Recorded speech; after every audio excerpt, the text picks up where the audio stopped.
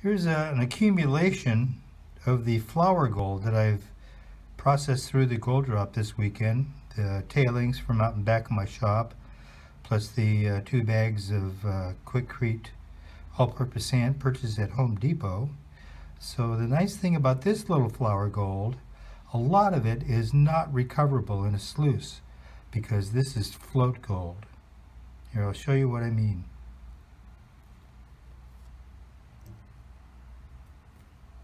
The gold stuck to the side of the vial there, and I'll roll it around and it all becomes float. It's pretty incredible. We're picking up some more float from the top.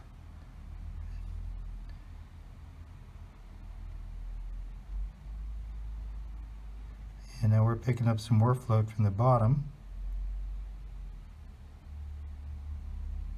Let's pick up that other gold there as a float. So you can see there's quite a bit of float gold in that gold. And that's all gold that would be gone in a sluice, floated away by the mad rush of water, but captured in the GOLDROP because all the pay dirt is submerged. No gold can float away.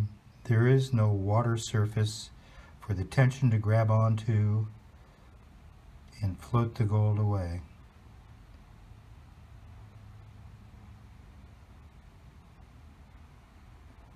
Now we're even picking up some more of that fluid. Gets bigger and bigger all the time. Well, there's what I've got. Thanks for watching. Thanks for being interested.